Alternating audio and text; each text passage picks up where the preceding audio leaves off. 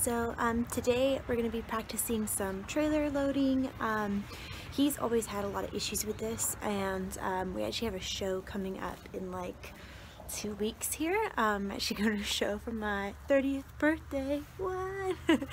um, so yeah, I just wanted to practice with him.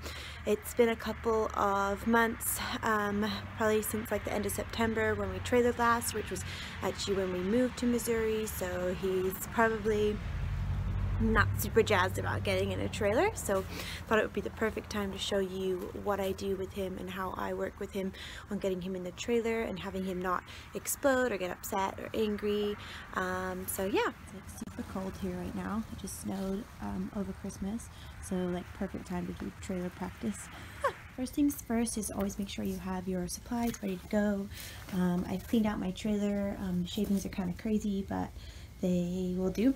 Um, there's, I got his um, rope halter in case we need it um, for extra sort of um, direction. It works a little better than his leather halter or nylon halter. Um, and I never put a chain or a rope on him or anything like that because um, he would freak out.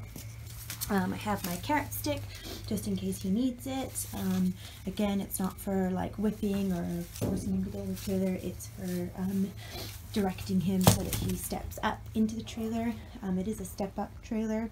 I have the divider clipped back. Um, that's how it always stays. So he has like the entire trailer to himself. I don't use any um, hay or treats when I'm practicing just because I also don't want him to get sort of used to thinking that he's going in the trailer for treats. And then the other most important thing about trailer practice is to always make sure you're fully hooked up and ready to go. So I have my hitch all hitched up, um, everything's attached, uh, electrics, emergency brakes, um, chains, everything.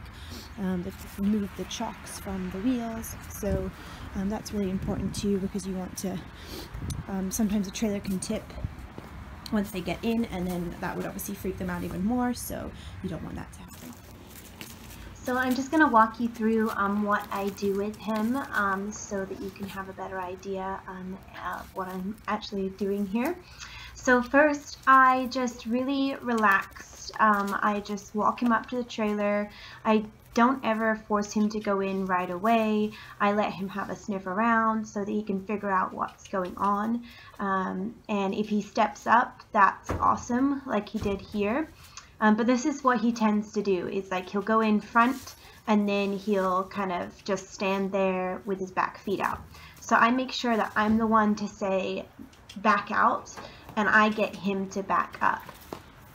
As you can see here, that kind of upsets him because he doesn't like tension on his lead or being forced to do anything. Um, so I just gently ask him to walk forward simply. Um, he kind of freaks out a little bit, doesn't like that, puts his head up, gets upset, walks around. I position him back around again. And I like to always stand on the outside of the trailer so that I'm never trapped in there with him because there is no emergency door. He tests it out again. He has a little sniff. He can reach all the way to the front of the trailer because he's pretty big. Um, so I just kind of give him some pets and say, you know, good job for stepping in there. Then I say, you know what, like let's come out of there. So it really keeps his interest in going in the trailer and he thinks that he's doing the right thing by stepping up there and then now coming out again when I ask him to. So that way when we turn him back to it, he's not having made the decision that he wants to come out. I've asked him to leave. So then he steps in again, and this time he goes a little bit further. He inches further forward, and then he goes all the way in. And then I just let him hang out for a few minutes, give him a little pat on the butt, be like, good boy, good job. And then I ask him to come out again.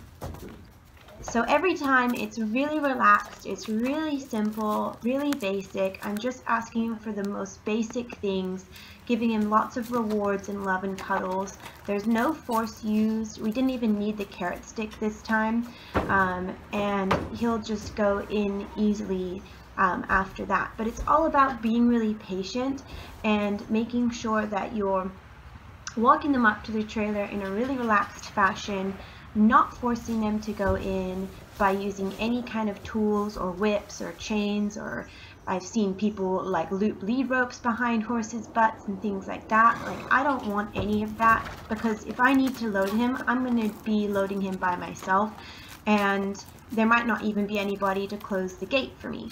So this is why I put this rope on the gate so that I can close it myself if there was an emergency and I needed to get him out of somewhere in a quick way. So I put this rope on here that way I can swing the door closed because it's really heavy and I can't reach from the outside of the trailer to the door, otherwise he might get out again.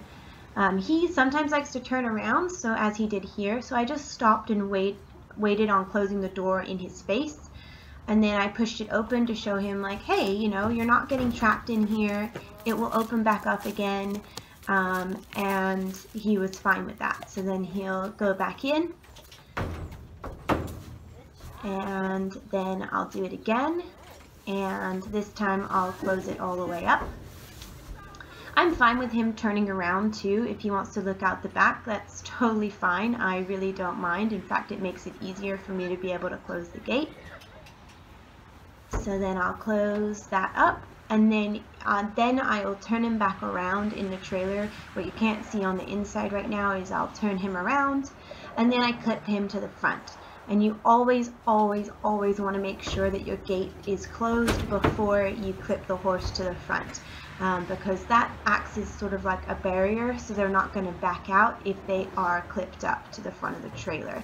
The worst case scenario is if the gates open at the back and then they pull back and freak out and then fly out the back of your trailer. That way he comes out in a nice sedate fashion after he's turned around again. He always likes to turn around and step down. Um, he doesn't like to back out of the trailer, um, but because it's a big trailer all to himself, that's totally fine, and we work with what we have. Um, so then I just practice it again and um, he's always been a little bit claustrophobic I think from his racing days so it's always really good to practice this before you're actually wanting to leave or go somewhere ideally I like to try to practice it at least every once or twice eh, once every once a month or every two months just so that it stays fresh in his mind um, and he knows like hey this is what we're doing um, if I don't do it that frequently then he starts to be more hesitant about getting in. Um, but it's really about keeping it really simple and fun and happy. You don't want to ever get frustrated. If you feel like you're getting frustrated or upset, then you need to walk away and, you know, just stop and take a breather or have someone else try. Um, you also want to keep these training sessions pretty short. I like to try and keep them under 30 minutes so that you're not, you know, overloading their brain um, and they're not getting frustrated and upset. And as you can see here, he's really not bothered anymore about going in there, standing in there. He's pretty happy. He's just looking around. He's like, what's going on? This is a cool little house. So yeah, I hope this helped you guys, um, and um, hopefully he'll be just as easy when we go to the show um, tomorrow, which is tomorrow now, um, and yeah, I will vlog from the show.